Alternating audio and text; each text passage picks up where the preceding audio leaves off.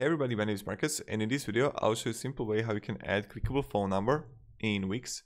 So let's start. There are actually a few ways how you can do it. So first thing that you can do is just add and you can like simply add text, right? Like I don't know, this here. We will try like multiple ways. You can like call us and we can center it in the middle. Now, the second way, what you can do is to simply add a button like this. Let's make it bigger. And again, call us, right? Or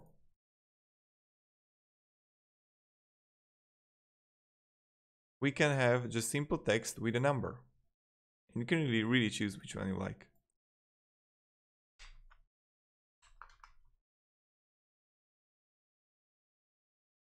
And now when we got it,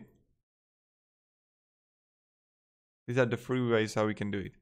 When you're gonna, and how to link it now to number. What you want to do is just simply click edit text, link, and then you're gonna phone number.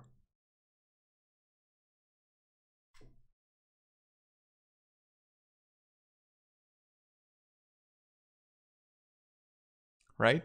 Done.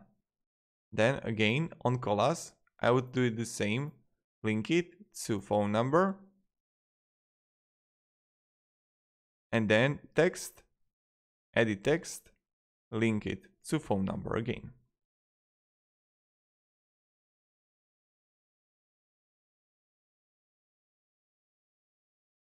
Done. Now when I will go to preview the website and let's see how it's going to work out. So I'm going to I'm right here. I'm going to click call us, make a call from make a call, call us again. And when I would click on the third one, again, make a call from. And this is pretty much how we do it, guys. So thank you very much, everybody, for watching. If you have any questions, ask me down in the comments. I'll really happy to help you and provide you some guidance and stuff like that. So yeah, it's working like it should. You're here, and then you're gonna see text here, edit text, and link it and that's pretty much it, it. So thank you very much everybody for watching and